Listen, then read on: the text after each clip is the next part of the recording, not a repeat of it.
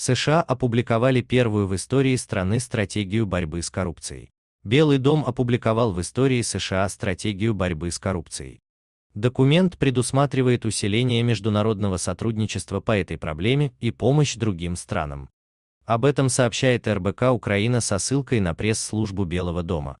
В стратегии коррупция названа злокачественной опухолью внутри общества, которая разъедает общественное доверие и способность правительств оказывать помощь гражданам своих стран.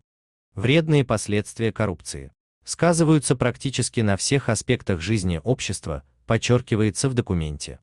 В стратегии сделан упор на транснациональные измерения коррупции. Документ предусматривает дополнительные меры, которые призваны препятствовать использованию американской и международной финансовых систем для сокрытия и легализации коррупционных доходов. Стратегия предусматривает проведение ревизии критериев оказания помощи правительствам других стран. Текст озвучен с помощью Яндекс Спичкайт с целью повышения успешной борьбы с коррупцией и подотчетности получателей помощи.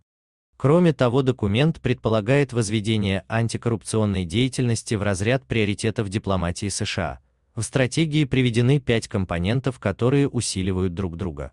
Модернизация, координация и обеспечение ресурсами усилий правительства США по борьбе с коррупцией. Сдерживание незаконного финансирования. Привлечение к ответственности коррумпированных лиц. Сохранение и укрепление многосторонней антикоррупционной архитектуры улучшение дипломатического взаимодействия и использование ресурсов иностранной помощи для достижения целей антикоррупционной политики. Как сообщил на брифинге, который предшествовал публикации стратегии.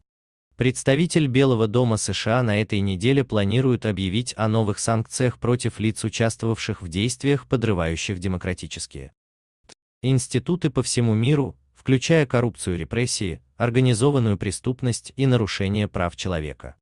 По словам представителя Белого дома, санкции будут приурочены к саммиту за демократию.